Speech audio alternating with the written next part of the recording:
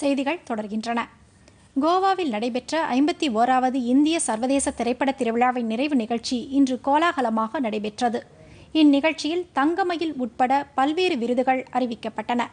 இரண்டாம் உலகப் போர் காலகட்டத்தில் நாசி படையினர் டென்மார்க் நாட்டு மக்கள் மீது நிகழ்த்திய வன்முறைகள் குறித்து எடுக்கப்பட்ட திரைப்படத்தின் இயக்குனர் ஆண்டஸ் ரெஃபின்ஸ் இயக்கிய இன்டு தி டார்க்னஸ் என்ற திரைப்படத்திற்கு தங்கமயில் விருது வழங்கப்பட்டது.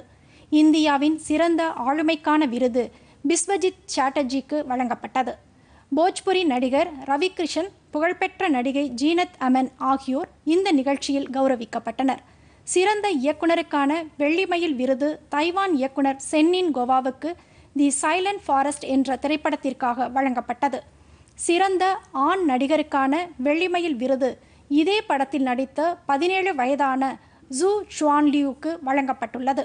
சிறந்த அறிமுக இயக்குனருக்கான விருது பிரேசில் இயக்குனர் கேசியோ பெரரோவுக்கு வேலண்டினா என்ற போர்த்துகீசிய திரைப்படத்திற்காக வழங்கப்பட்டது.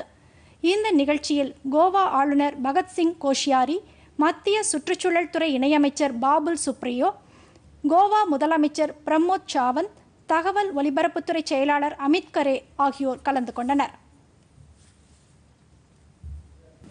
பொதிகை செய்திகளை யூடியூபில் தமிழ் நியூஸ் தூர்தர்ஷன் என்ற சேனலிலும் முகநூலில் டிடி பொதிகை நியூஸ் என்ற பக்கத்திலும் ட்விட்டரில் டிடி நியூஸ் சென்னை என்ற பக்கத்திலும் இன்ஸ்டாகிராமில் டிடி பொதிகை நியூஸ் என்ற பக்கத்திலும் காணலாம். மேலும் உங்கள் கருத்துக்களை Podhigai DD news at Gmail dot com என்ற மின்னஞ்சலில் தெரிவிக்கலாம்.